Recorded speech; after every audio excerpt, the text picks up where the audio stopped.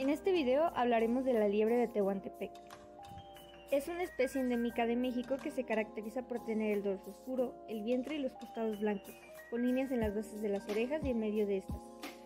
A continuación se muestra la taxonomía de este mamífero.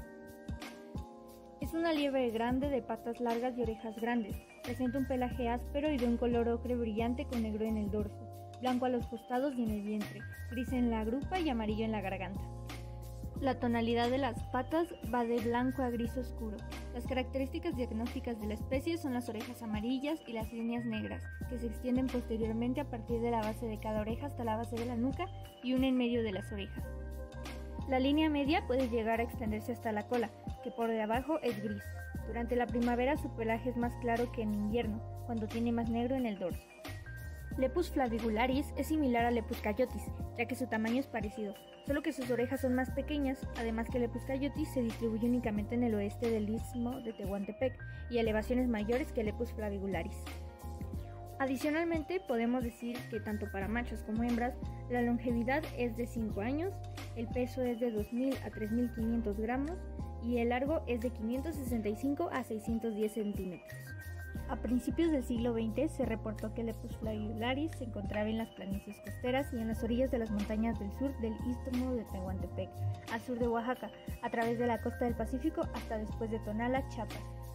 Por la década de los 70 se reportó que solo se distribuía en la zona costera entre Tehuantepec, Oaxaca y Arriaga, Chiapas. Posteriormente disminuyó su distribución de Salina Cruz, Oaxaca, hasta el extremo oeste de Chiapas. Se le considera una especie endémica del sur del istmo de Tehuantepec, Oaxaca, teniendo un área de distribución de 150 kilómetros cuadrados, además de ser la única especie de liebre norteamericana que presenta una distribución tropical.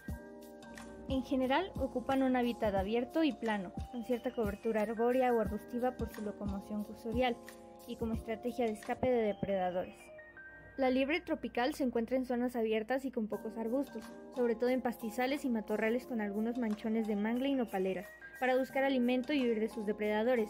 Aunque otras especies de liebre también se les puede encontrar en zonas cultivadas, esta especie no se presenta en este tipo de vegetación.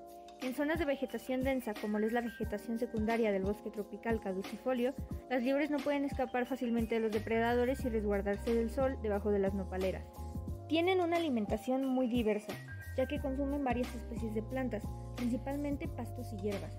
Por esto último, ayudan a regular las poblaciones de las especies de las cuales se alimentan y ayudan a dispersar sus semillas, además de servir como alimento de depredadores. La temporada de reproducción empieza a finales de enero hasta principios de noviembre, durando aproximadamente 250 días cada año, teniendo una mayor actividad reproductiva durante la temporada de lluvias que es de mayo a octubre. Los machos estaban sexualmente activos desde mediados de enero hasta principios de noviembre y las hembras de principios de febrero a finales de septiembre. Se registraron apareamientos desde inicios de febrero hasta finales de septiembre. Cada hembra reproductiva produce un promedio de 2.27 gazapos por camada. El periodo de lactancia para los gazapos dura alrededor de 12.01 días. Después de este periodo son abandonados por las hembras. Las crías son precociales, ya que nacen cubiertas de pelo y con los ojos abiertos y las dejan en una cama en el suelo debajo de arbustos. Cuando los gazapos nacen, las hembras los colocan en sus camas, donde permanecen todo el tiempo al inicio de su vida. Una vez al día, normalmente durante la noche, la madre los visita para lavarlos y amamantarlos. La hembra llama a los gazapos emitiendo chillidos que estos le contestan.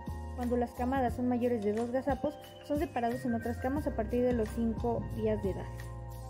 La principal amenaza del Lepus flavigularis es la alteración y degradación de su hábitat por la expansión de la agricultura y la ganadería.